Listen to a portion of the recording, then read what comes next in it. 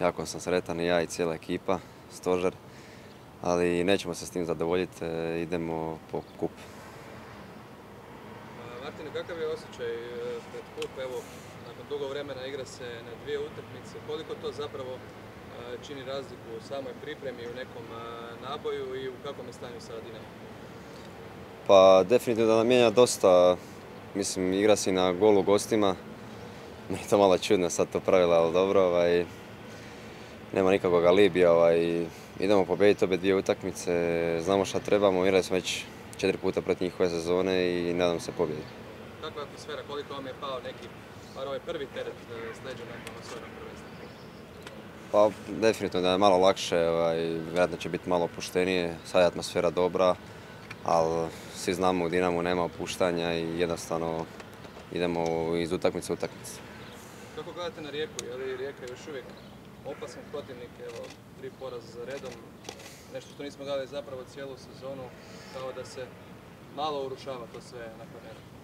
Pa ne bi ja rekao, Rijeka je jako dobar protivnik, jako su dobar konkurent bili ove sezone. Stvarno, eto, dugo nismo imali ovako zanimljivo prvenstvo, svima, svima nam je dobro došlo. I ništa sam ovaj, respekt prema njima i imam jako visoko mišljenje o njima svima. Pa, meni je, meni je svaki najslađi.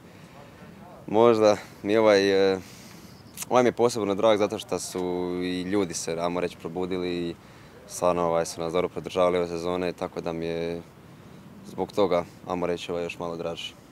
Je li bio neki trenutak u sezoni gdje ste sumnjali da, da možete okrenuti cijelu priču?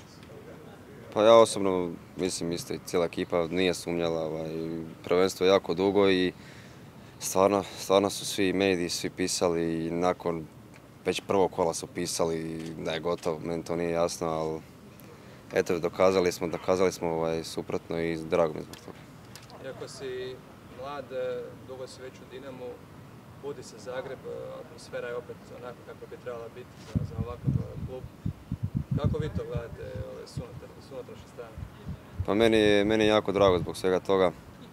E, nadam se da će tako nastaviti sljedeće sezone, jer stvarno nam je bitno i mi nama igračima draže, bolje igramo, tako da im hvala.